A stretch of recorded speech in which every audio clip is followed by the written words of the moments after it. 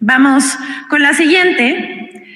Inventan que el Congreso busca recortar 31% del presupuesto de la Suprema Corte de Justicia de la Nación.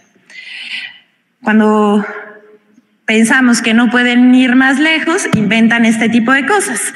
Medios como Excelsior y Dinero en Imagen publicaron el pasado 13 de octubre una volada de José Yuste, periodista especialista en temas de economía. También es colaborador de Noticieros Televisa.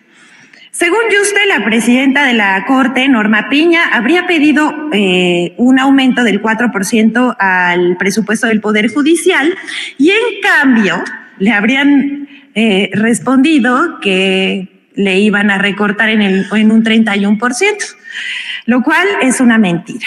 El periodista advierte que se pone en riesgo la equidad entre poderes. Eso es lo que dice en una videocolumna y que nos quedaríamos sin jueces.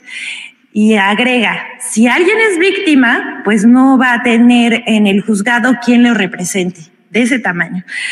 Esto que señala el periodista es una mentira. No se afectará ni a jueces, magistrados, ni a ningún trabajador del Poder Judicial. Aclaremos, la Secretaría de Hacienda mandó al Poder Legislativo el, proyecto de presupuesto que contempla los 84 mil millones de pesos que solicitó el Poder Judicial para el ejercicio 2024, lo que significa el aumento que pidió la Suprema, la presidenta, eh, de un 4% con respecto a el año 2023, es el año que corre.